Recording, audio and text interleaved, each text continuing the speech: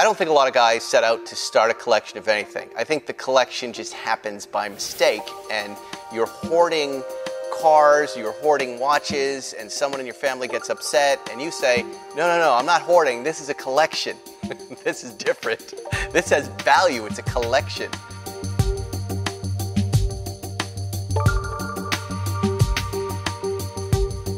I'm Spike Feresten, and we're in Los Angeles, California.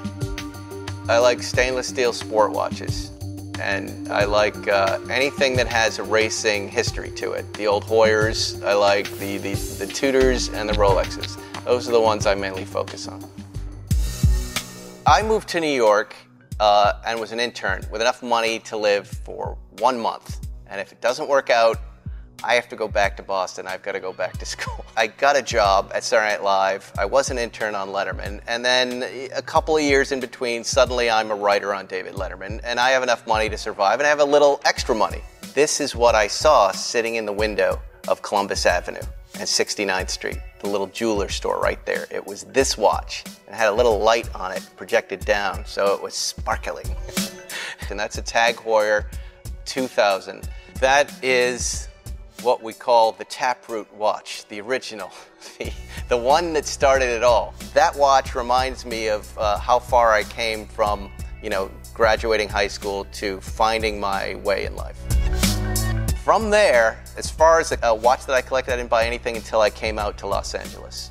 And that's this Tag Heuer 1964 Carrera reissue. The dial on the watch, it's a, it's a lot smaller. At the time, it didn't feel small is beautiful. It's like it's it's silver with blue on it. It's just a beautiful looking dial. That watch is my first year of Seinfeld. It was really a great and wonderful experience, but we never left the offices. We were we were there 7 days a week just locked into this this little joint. So we would open up magazines on our breaks and there's this Tag Heuer. And I said, boy, I, I really, wa- I really want this watch. And I was sitting with fellow writer Jennifer Crittenden, and she said, well, you're going to buy that watch today.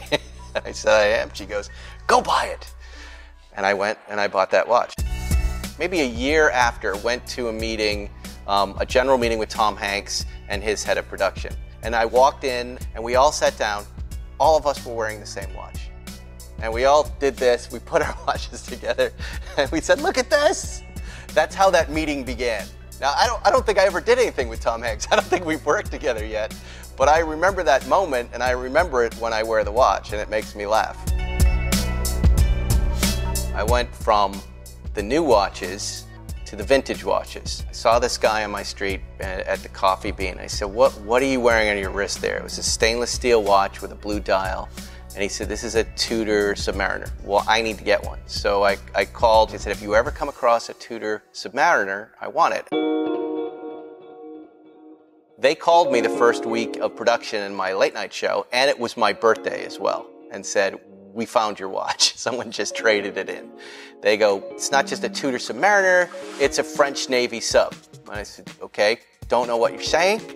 He goes, Marine Nationale, 1977, the French Navy used them for diving and mine clearance. And I said, the French are involved in mine clearance in the late 70s, and they needed a watch for that. They go, don't, don't mind that. But just know this watch comes with uh, military papers and decommissioned papers, and it's the rare version of the watch you're looking for. And that's this Tudor French Navy sub that I have. That's turned out to be a very rare watch. Rolex, for me growing up, I didn't even know the word. It just it, nobody had a Rolex where where I grew up. They didn't have that stuff. My mom was a nurse and she wore a Timex, and that's what you wore. You went to Kmart to get the Timex. So Rolex for me was the guy with the open shirt, the gold chain, and the new Ferrari. And I was like, I, I don't want to be that guy. So the idea of a Rolex was really a foreign idea to me, and, and I was processing it through new Rolexes and who wore those new Rolexes. At some point, when I'm hosting my late night show, I get the Daytona bug, the early Daytona bug. Might be Jason Bateman, it might not be. The two of us had been seeing these watches, and you know, you need a you need someone to kind of make you crazy when someone else wants something and you want it. It's two guys, and that's all you're thinking about. You know, whether it's in one week or one year, you're going to get that thing. And when my show got picked up for the third year, I decided to commemorate that with the Rolex Daytona. and it's the 6263. It really looks beautiful in a photograph. It's a very beautiful dial, and for a small watch, for 39 millimeter, it's just one of those classic watches that everybody loves. That's a watch that, that, I'll, uh, that I wear daily. You know, I'm wearing probably my most uh, favorite new watch, the most wearable watch, this Daytona right here, the Daytona 116500 with the black dial and Cerachrom bezel. I, I love this thing. It's 40 millimeters. When I put it on, the first time I put it on, I just felt like I pulled the sword out of the stone. It's just a perfect watch. Cars and watches are inextricably kind of brought together, you know, and, and I, I think a lot about this. Obviously, there's a lot of history in motorsports um, with, with Rolex and, and, and watch companies and motor racing.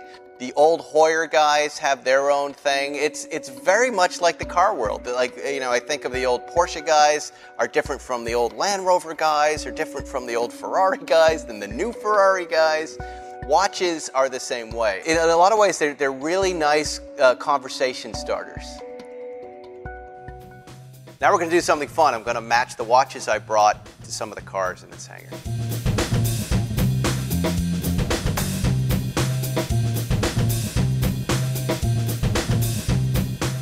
New Daytona. What would I wear with a new Daytona? Oh boy, we have to do this one right here. This is a, uh, a Gullwing, Mercedes Gullwing, right here. This is probably the blue chip collector car of all collector cars. You know, you look inside and you see the plaid seats and the suitcase and steering wheel. I'm to also match the Rolex 6263 to this car. That's just a, a classic, uh, beautiful timepiece, and this is probably one of the most beautiful car designs ever made. And you know, when you think of as far as an investment classic car, there's nothing better than a Gullwing. This car stops traffic. You are the ultimate gentleman in that car. The 64 Carrera. The Swedish ice racer is a Carrera.